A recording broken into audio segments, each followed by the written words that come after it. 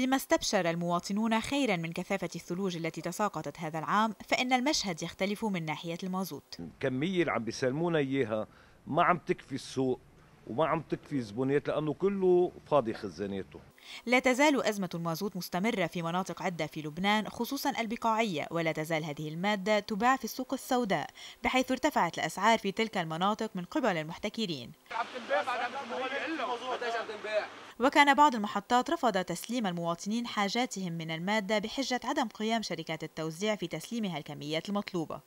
وفي ظل الاتهامات المتبادلة بين أصحاب المحطات وأصحاب الشركات يدفع المواطن الثمن ويصطف أمام محطات المحروقات ليحصل على تنكة مازوت وبالسوق السوداء. التنك عم تنباع يا معلم آه، صارت ب 18 ناس بتبيع ب 20 ناس بتبيع ب 14 ب 15 شو هيدي؟ كل واحد بيبيع شكل بين. وزير الاقتصاد بدأ بحملة رقابة على شركات المحروقات لمراقبة سير عملية تسليم المازوت اليوم المشكلة إلى عدة آه، آه، آه، نقاط إذا بدك. أولا عندك التصدير الغير الشرعي التهريب عندك التصدير الشرعي من خلال اتصالاتنا مع جميع المعنيين خاصة الجيش اللبناني وقوى الأمن الداخلي.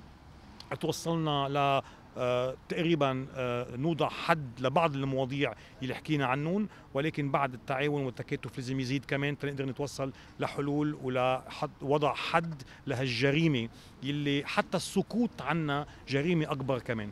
طالب الشركات كافة على ثلاث مواضيع. جدول التسليم لهالشركات جداول التسليم للمحطات واخرا وليس اخرا موضوع الرقابة على آه، المخزون. الوزارة أخذت عينات وجداول للتحقق من عملية التسليم وستتابع جولتها.